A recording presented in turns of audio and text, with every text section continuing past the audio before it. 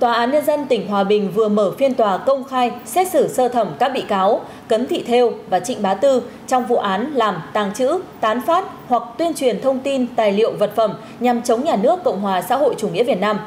Trước và sau phiên tòa, trên mạng xã hội, một kịch bản cho rằng mẹ con Cấn Thị Thêu là người nông dân hiền như cục đất, nạn nhân của chế độ, được rêu rao. Cấn Thị Thêu và gia đình có thực sự là nạn nhân hay chính là kẻ chống phá chế độ? Kính mời quý vị và các bạn theo dõi chương trình.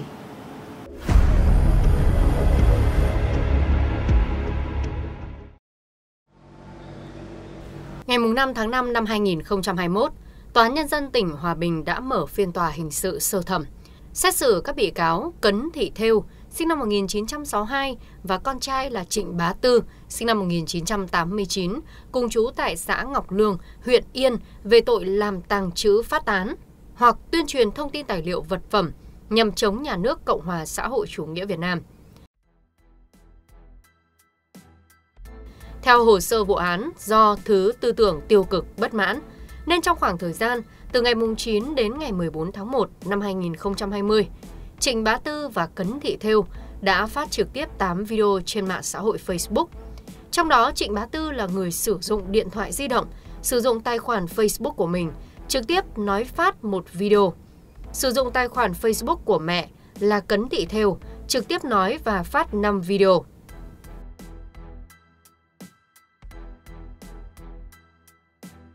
Ngoài ra, các đối tượng này còn đăng phát cả những video chứa nội dung kêu gọi kích động nhân dân chống chính quyền, đưa thông tin xuyên tạc về vụ việc đồng tâm, vu khống xúc phạm uy tín của tổ chức, các ngành, bôi nhọ lãnh đạo Đảng, Nhà nước, Chính phủ. Các tài liệu thu thập được đều đã được cơ quan điều tra trưng cầu giám định từ Viện Khoa học Hình sự, Bộ Công an và Sở Thông tin Truyền thông tỉnh Hòa Bình. Khám xét nơi ở của các bị cáo, cơ quan điều tra còn phát hiện thu giữ nhiều tài liệu có nội dung xuyên tạc, phỉ báng, bịa đặt nhằm chống nhà nước Cộng hòa xã hội chủ nghĩa Việt Nam.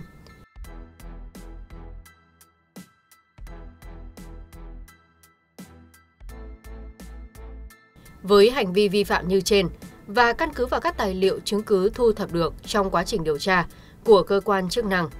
sau khi xem xét toàn bộ nội dung vụ án, Hội đồng xét xử Tòa án Nhân dân tỉnh Hòa Bình đã tuyên phạt bị cáo Trịnh Bá Tư 8 năm tù, bị cáo Cấn Thị Thêu 8 năm tù về tội làm tàng trữ phát tán hoặc tuyên truyền thông tin tài liệu, vật phẩm nhằm chống nhà nước Cộng hòa xã hội chủ nghĩa Việt Nam theo quy định tại khoản 1, điều 111 Bộ luật hình sự. Sau khi mãn hạn tù, các bị cáo phải chịu sự quản thúc trong thời hạn 3 năm. phiên tòa xét xử sơ thẩm đối với các bị cáo Cấn Thị Thêu và Trịnh Bá Thư à, diễn ra trong một ngày và trong quá trình xét xử thì hội đồng xét xử đã đưa ra các cái tài liệu chứng cứ mà đã được thu, thu thập được trong quá trình điều tra để đánh giá. Ừ, và ừ, qua quá trình đó thì ừ, hội đồng xét xử thấy rằng quá trình điều tra là hết sức là khách quan đúng người đúng tội do đó hội đồng xét xử đã tuyên phạt cấn thị thêu ờ, với mức án là 8 năm tù và 36 tháng thử thách à, ờ, với trịnh bá tư cũng là 8 năm tù và 36 tháng thử thách à, ờ, cái mức án này là ở khoảng 1 của điều 117 bộ luật hình sự. Nó là gần như là cao nhất của vụ án. Cho nên là thấy rằng cái cái mức án mà hội đồng xét xử áp dụng đối với các bị cáo là hoàn toàn tương xứng. Đây là một cái bản án à, xứng đáng à, đối với hai bị cáo về những hành vi mà các bị cáo đã đã gây ra đây cũng là cái bài học để cảnh tỉnh cho những cái đối tượng đang thực hiện cái hành vi chống đối chống phá và những cái đối tượng đang trong giai đoạn có ý định à, các có cái hành vi chống đối chống phá đi ngược lại với lại cái chủ trương chính sách của đảng pháp luật của nhà nước. Được tham gia tham dự phiên tòa tôi thấy tòa xét xử rất đúng theo quy định của pháp luật, xét xử công khai, minh bạch. Tòa phán quyết mỗi người 8 năm tù, tôi nghĩ là đúng người, đúng tội, đúng pháp luật. Trước ngày Tòa án Nhân dân tỉnh Hòa Bình mở phiên tòa xét xử sơ thẩm hình sự đối với Cấn Thị Thêu và Trịnh Bá Tư, Thông tin về phiên tòa đã được người thân của Thêu loan báo rầm rộ để kêu gọi sự chú ý hỗ trợ. Thậm chí Đỗ Thị Thu, con dâu của chị Cấn Thị Thêu, Trịnh Bá Tư còn viết thư trên Facebook mời các cơ quan truyền thông trong và ngoài nước, bạn hữu, các tổ chức dân sự đến tham gia phiên tòa sơ thẩm. Để cổ vũ cho việc làm vi phạm pháp luật của Cấn Thị Thêu, Trịnh Ba Tư,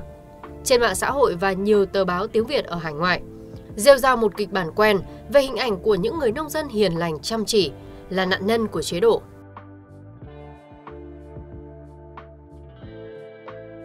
Không chỉ ca tụng kẻ có hành vi xâm phạm an ninh quốc gia, chống lại nhân dân Việt Nam, các thế lực thù địch và đối tượng phản động còn không ngừng la làng vu cáo Việt Nam bỏ tù những nhà bất đồng chính kiến, nhà hoạt động dân chủ, người nông dân mất đất, để từ đó quy chụp Việt Nam vi phạm nhân quyền. Ngay khi Tòa án Nhân dân tỉnh Hòa Bình tuyên án, các đối tượng này đã phát đi thông tin dày đặc trên mạng xã hội. Ngợi ca mẹ con Cấn Thị Thêu và Trịnh Bá Tư, hiền ngang, bất khuất. Nhiều tờ báo tiếng Việt hải ngoại, thiếu thiện trí cũng tung hàng loạt những bài với chủ đề tương tự. Cùng những bài viết thể hiện quan điểm cùng tổ chức nhân quyền này kia về việc bỏ tù Cấn Thị Thêu và Trịnh Ba Tư. Tuy nhiên, các thông tin mang tính chất quy chụp một chiều đã cố tình lờ đi các hành vi vi phạm pháp luật của Cấn Thị Thêu, Trịnh Bá Tư.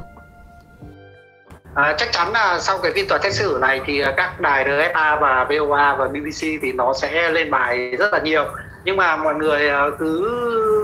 theo dõi và mọi người à, để ý mà xem chắc chắn rằng là nó chỉ lên mấy cái ngày mà khi mà đã hết cái giá trị lợi dụng của cái đám này thôi thì chúng nó sẽ bỏ qua và chúng nó sẽ lơ đãng quên đi cái gia đình nhà cấn thị theo này và nó sẽ tiếp tục mà đẩy nhân vật khác lên. Chúng ta thấy là theo thông tin của dân chủ cũng như nhiều đài báo trung cộng nước ngoài đưa tin là trịnh bá tư tuyệt thực 25 ngày. Nhưng mà hôm nay trịnh tòa trịnh bá tư béo như châu trương khỏe. Toàn là gương mặt thân quen cầm biểu ngữ đi răng ở hà nội thời gian trước. Thì hôm nay cũng uh, lên à, tòa án nhân dân tỉnh hòa bình để răng biểu ngữ răng mấy cái bức tranh bức ảnh à, à ủng hộ nhà cấn thị theo đấy. Thì à, phải nói rằng là cái đám này ấy, bây giờ thì nó cũng nhận được tiền ít hơn cho nên là nó không uh, cuồng nhiệt như ngày xưa. Ngày xưa cái đám này mà nó đi uh, biểu tình ở hà nội thì nó phải khóc lóc hay nó dây rủa ngoài đường rất là nhiều. Nhưng mà lần này chỉ ngồi ngoan một chỗ và răng bức ảnh chụp bức hình thôi. Để nói rằng là dần dần cái vở kịch thì nó cũng là vở kịch chiều rồi cho nên là cái đám này thì uh, theo em nghĩ thì tiền nhiều thì nó biểu diễn nhiều mà tiền ít thì nó biểu diễn ít Bắt đầu từ việc chính quyền thu hồi đất tại khu vực Dương Nội do không đồng ý với phương án bồi thường, Cấn Thị Theo và một số đối tượng đã lập cái gọi là Hội Dân Oan Dương Nội, bất chấp việc cơ quan chức năng, thậm chí là thanh tra chính phủ đã trả lời. Cấn Thị Theo vẫn không chấp nhận, tiếp tục có nhiều hoạt động chống phá. Thực tế việc thu hồi đất tại khu vực Dương Nội không chỉ diễn ra đối với riêng gia đình Cấn Thị Theo. Tuy nhiên, với những đòi hỏi phi lý không được đáp ứng, Cấn Thị Theo cùng một số đối tượng đã tự biến mình thành dân oan.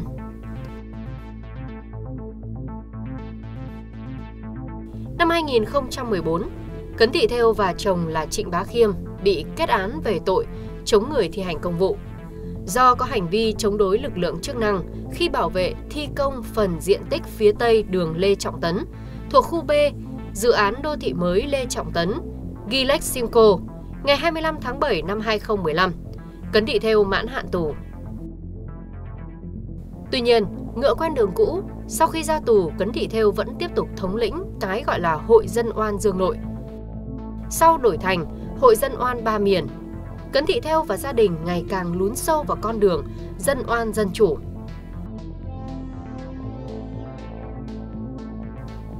Mẹ con Cấn Thị Theo đã có mối quan hệ khá chặt chẽ với các đối tượng dân chủ khác – và cũng nhận được sự ưu ái tâng bốc của các tổ chức nước ngoài thiếu thiện cảm với Việt Nam. Được các kênh chống phá như BBC, VOA, AFA, AFI ca ngợi. Theo dõi trên các trang mạng xã hội của mẹ con Cấn Thị Thêu, dễ dàng nhận thấy các đối tượng này thường xuyên tụ tập tại trụ sở tiếp công dân trung ương để tiến hành quay phát trực tiếp, nói xấu chế độ gây mất an ninh trật tự, Đồng thời Cấn Thị Theo cũng tích cực tìm chọn các vụ việc phức tạp về đất đai để tiến hành an bám. Trong vụ việc tại Đồng Tâm, dù không có quyền lợi ích liên quan, nhưng mẹ con Cấn Thị Theo liên tục xuất hiện tại Đồng Tâm và tung ra các thông tin sai lệch để gây nhiễu dư luận. Thậm chí là các đối tượng trong gia đình này liên tục sử dụng mạng xã hội để đăng tải, chia sẻ những video bài viết, hình ảnh, lời bình luận với nội dung xuyên tạc, sai sự thật, vu cáo chính quyền và các lực lượng chức năng, xuyên tạc bản chất của chế độ nhằm kích động người dân chống phá nhà nước, gây mất an ninh trật tự. Trong rất nhiều năm qua, thì Công an tỉnh Hòa Bình, Công an à, thành phố Hà Nội đã phối hợp với lại các à, à, ban ngành của huyện, của xã, À, của xóm để vận động tuyên truyền, thuyết phục, cảm hóa giáo dục. Đấy, nhằm là là là là, là, là à, đưa đối tượng à, từ bỏ cái tư tưởng cực đoan. Thế tuy nhiên là à, cái góc độ cảm hóa giáo dục qua nhiều năm thì đối tượng không từ bỏ mà ngày càng được cái sự hậu thuẫn đấy, hỗ trợ của các cái phần tử cực đoan trong và ngoài nước. Nên là ngày càng hoạt động là cực đoan hơn. Đấy, ngày càng hoạt động là là, là, là, là táo tợn hơn ngày càng công khai hơn và có những cái gọi là chống đối rất quyết liệt đối với lại các cơ quan chức năng và đặc biệt là thách thức cái quy định của pháp luật. Mặc cho những chống phá quyết liệt của Cấn Thị Theo, Trịnh Ba Tư và những màn kịch tung hô của các thế lực phản động, đa số người dân đã nhận thức được bản chất của các đối tượng này. Động cơ phía sau hoạt động chống phá đó là gì và mục đích chống phá ra sao? Ngoài ra, người Việt Nam cũng lên án các cá nhân tổ chức chống phá đang cố tình sử dụng chiêu trò, vỏ bọc để bao che cho hành vi phạm tội, đi ngược lại lợi ích dân tộc của nhân dân Việt Nam. Đây là những bàn tay đen, cố tình hậu thuẫn cho các hoạt động chống phá Việt Nam thông qua các vụ án xâm phạm an ninh quốc gia. Chương trình Góc nhìn sự thật của truyền hình Công an Nhân dân tuần này xin được khép lại tại đây. Cảm ơn quý vị đã quan tâm theo dõi. Xin kính chào tạm biệt và hẹn gặp lại trong các chương trình tiếp theo.